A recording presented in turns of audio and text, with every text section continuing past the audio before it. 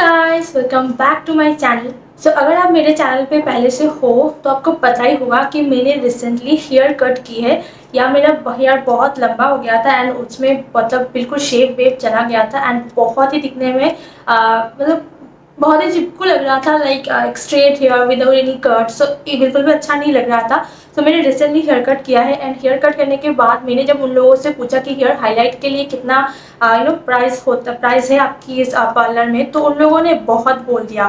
Like like, एक एक highlight करने में उन लोगों को हज़ार रुपये लगता है। तो, तो अगर आप पूरे बालों में ग्लोबल हेयर कलर करने हेयर कलर और हेयर हाईलाइट करने जाएँगे तो आपका यू uh, नो पाँच से दस हज़ार तक लग जाएगा। So it's very costly for me मैं अफोर्ड नहीं कर पाऊँगी पाँच से दस हज़ार फॉर हेयर हाईलाइटिंग सो मैंने सोचा कि चलो घर में एक हेयर हाईलाइट करते हैं।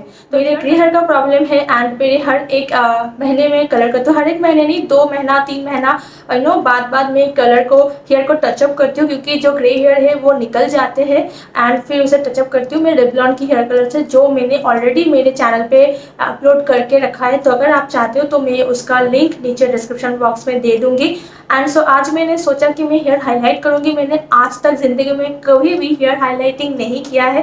This is the first time मैं हाईलाइट करूँगी क्योंकि मुझे लग रहा है कि मेरे ये जो नीचे का कलर नीचे का जो नो हेयर है बहुत ही ज़्यादा यू नो ब्लैक है डार्क है मुझे थोड़ा अपने चेंज मतलब तो अपने लुक में थोड़ा चेंज चाहती हूँ मैं इसीलिए मैंने सोचा कि चलो मैं हाईलाइट करूँगी।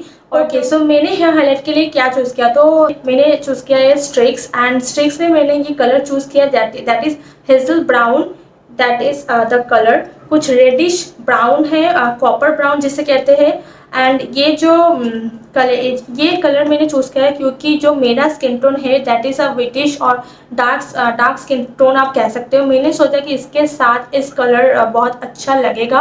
मतलब ये हाईलाइट कलर मेरे स्किन टोन के साथ अच्छा जाएगा।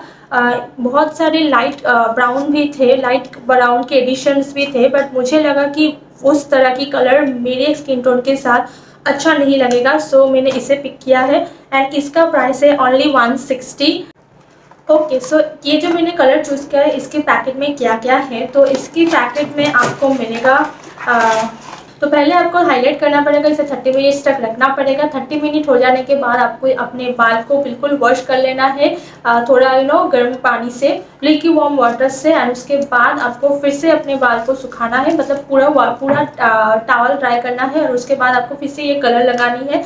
एंड लगाने के बाद आपको ये फिर से थर्टी मिनट तक रखना है, उसके बाद आपको धोना है। तो this is the step two process so या मैं स्टार्ट करती हूँ एक एक करके and I am very excited कि क्या होगा ओके सो मैं जो मैं जो कलर करना चाहती हूँ मैं चाहती हूँ कि मेरे नीचे की जो बाल है जो इस तरह के बाल है वो कलर हो। ऊपर की तरफ़ मैं जाना नहीं चाहती हूँ। सो so, मैं पहले अपने जो हेयर है उससे दो सेक्शन कर लूँगी एंड ऐसे पोनी बना लूँगी।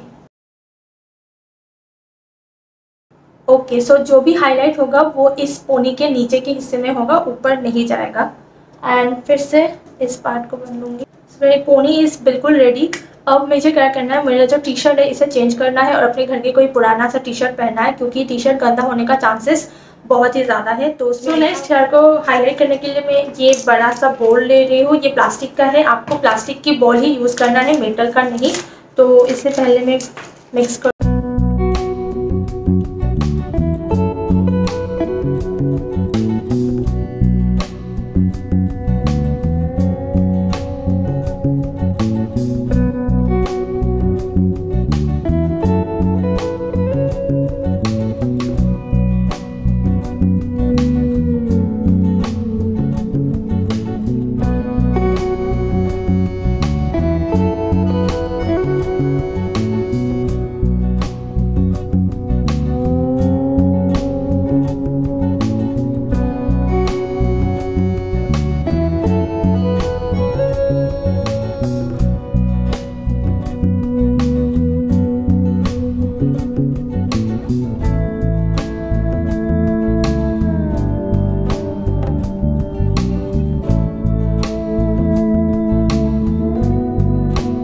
अपने दोनों बालों पे जितना भी था, बहुत ही कम क्वांटिटी था। अगर आपका मेरी तरह जलने थे तो ऐसे तो नहीं होगा। मैं चाहती कि मेरा पूरा जो ये दो सेक्शन है बिल्कुल कलर्ड हो, पर उतना अमाउंट नहीं था उसमें। तो मुझे एक और पैकेट ख़रीदना चाहिए था बट इट्स ओके मेरा फ़र्स्ट टाइम है सो मैं नेक्स्ट टाइम जब परचेज़ करूँगी, अगर मेरा ये कलर मुझ पर अच्छा लगा तो नेक्स्ट टाइम जब मैं परचेज़ करूँगी, वो मैं सारा क्वांटिटी में परचेज़ करूँगी। एंड ये जो पूरा प्रोसेस है मतलब ये जो पहला हाईलाइटिंग कलर लगाने का जो पूरा प्रोसेस है, आपको टेन मिनट्स के अंदर ख़त्म करना है और फिर आपको थर्टी मिनट्स तक वेट करना है। तो अभी ओके गाइस तो थर्टी मिनट्स हो गया है। अभी टाइम है ट्वेल्व फोर्टी सो so, अभी मेरे आ, बाल कुछ इस तरह लग रहा है। कुछ जो कलर है वो ऐसे ब्लर्ड कलर हो गया है। सो so, मैं अभी इसे धोने जा रही हूँ। उसके बाद में जो नेक्स्ट स्टेप टू है दैट इज़ ये कलर वाला उसे करूँगी। सो so, पहले मैं धो के फिर अपने बाल सुखा के फिर आती हूँ। ओके गाइस सो मैं हेयर को अच्छे से धो के फिर इसे हेयर ड्राई से ड्राई करके आई हूँ। एंड अभी मेरी हेयर कुछ इस तरह लग रही है। एंड क्या सो जो नेक्स्ट स्टेप है मैं उसे स्टार्ट करूँगी। उसे स्टार्ट करने के पहले मैं फिर से एक uh, मेरे हेयर को दो पार्टीशन कर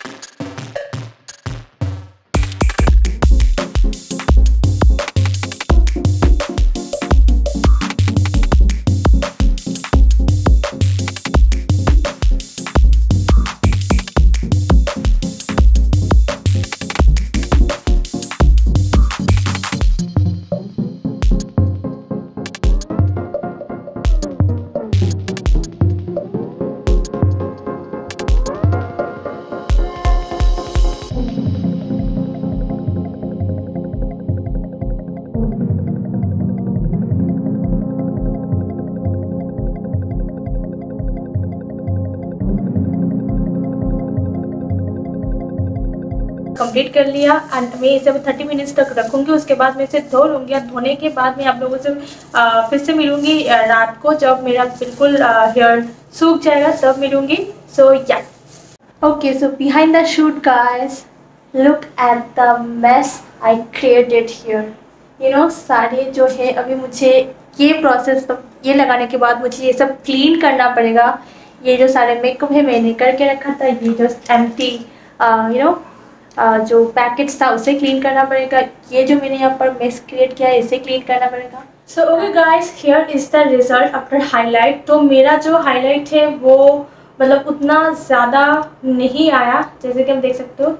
हाईलाइट तो हुआ है बट उतना ज़्यादा नहीं आया क्योंकि मेरा हेयर बहुत ही ज़्यादा डार्क है एंड मेरा जो हेयर की क्वांटिटी है, वो बहुत ही ज़्यादा मतलब थिक है। तो इसलिए आई थिंक मुझे दो पैकेट यूज़ करना चाहिए था तो मेरा जो पूरा पूरा पोर्शन है वो कवर होता बट अभी भी जितना हुआ है I am happy for that मेरा लुक मतलब जो मेरा इंटेंशन था कि लुक थोड़ा चेंज हो जाए, वो तो काफ़ी हद तक हुआ है. I M I think so कि हाँ काफ़ी हद तक लुक हुआ है एंड मैंने इस जगह पर ज़्यादा किया है क्योंकि मैं हेयर को ज़्यादातर ऐसे टाई करती हूँ। तो जब मैं ऐसे टाई करूँगी तो ये जो हाईलाइटेड हेयर से वो दिखेगा शायद आप लोगों को अभी दिख रहा है। आई डोंट नो वीडियो में कितना दिख रहा है बट uh, हाँ सामने से तो दिख रहा है। एंड या this is the final result I am happy and कि हाँ ये जितना भी तो वन सिक्सटी रुपीज़ में मैं इससे ज़्यादा क्या एक्सपेक्ट करूँगी। But yeah yeah I am happy for it तो अगर आपको ये वीडियो अच्छी लगी तो प्लीज़ इसे एक लाइक ज़रूर कर देना। अगर आप मेरे चैनल पर नए आए हो तो मेक श्योर sure मेरे चैनल को सब्सक्राइब करके ही जाना।